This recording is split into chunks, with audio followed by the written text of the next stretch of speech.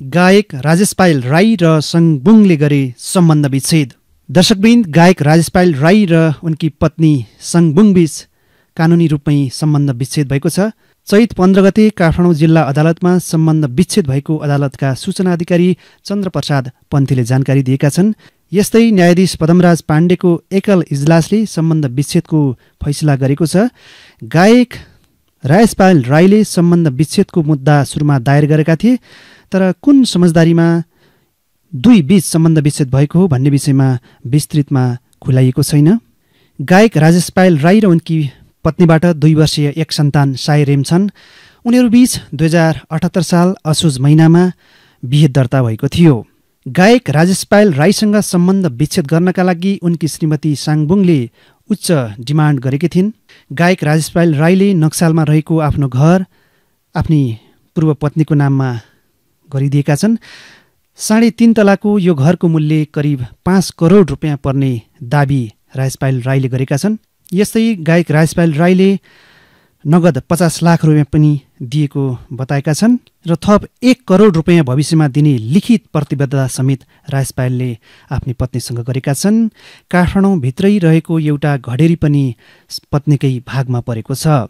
डिभोर्सपछि अब राजपाल राईका छोरा आमाको साथमा बस्नेछन् भने छोराको पढाइको खर्च राजपाल राईले बेहोर्ने भएका छन्।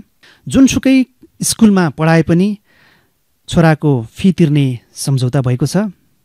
यसै गरी छोराको पालन पोषणका लागि मासिक पन्ध्र हजार रुपियाँ राजपाल राईले पत्नीलाई उपलब्ध गराउने सम्झौता गरेका छन्।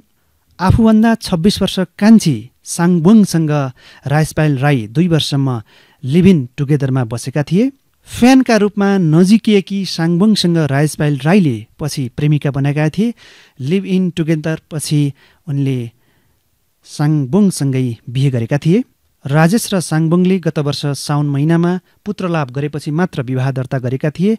विवाह दर्ता प्रमाणपत्रमा दुई हजार अठहत्तर असोज महिनामा उनीहरू बीच विवाह भएको कुरा उल्लेख गरिएको छ।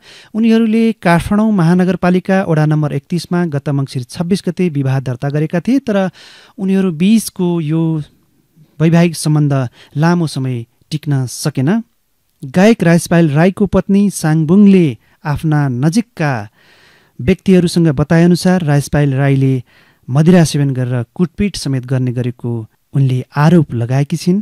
तर राजेश पायल राईले भने साङबुङले लगाएका सबै आरोपहरू अस्वीकार गर्दै आएका छन्।